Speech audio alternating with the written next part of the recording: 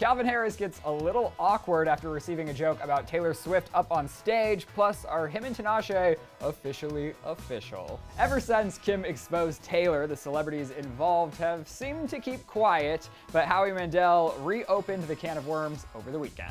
Well, I'm not sure if this is exactly what Calvin Harris came for, but during Caesar Palace's 50th anniversary gala in Las Vegas on Saturday, things got a little bit strange when Howie caught Calvin off guard when he asked about Calvin's suit when he was presenting him with the Future Icon Award up on stage. Who's your tailor? See what I ah. ah.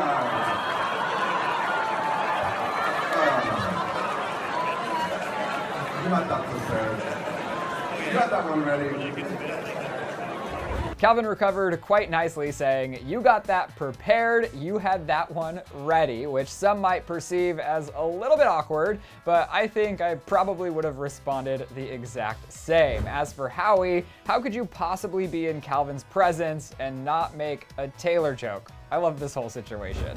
As for Calvin and Tinashe, are they or aren't they? As you may recall, the twosome sparked relationship rumors last month when they were spotted together all over town. Cut to this weekend, Tinashe was chatting with E! News, and when they asked her about her relationship status, she said, quote, I mean, I'm still definitely single, so that's all that we're at right now. So she's single, but that doesn't mean the two aren't boinking. Well, whatever it is that the two are doing, it seems as though Calvin has been giving Tinashe some good advice because in regards to her recent Vegas performance, she revealed that Calvin told her, quote, he mostly just said, obviously, just go out there. Vegas is a different crowd every night, so you never know what to expect. So I'm looking forward to it being a really good crowd. I know there are fans that have traveled from far, so I'm excited to see them. I have a feeling that the two are heating up, but will they become a public powerhouse? Well, that's still TBD, but I'm here to say the possibilities are pretty good. Except the only thing that has us a little bit concerned is when asked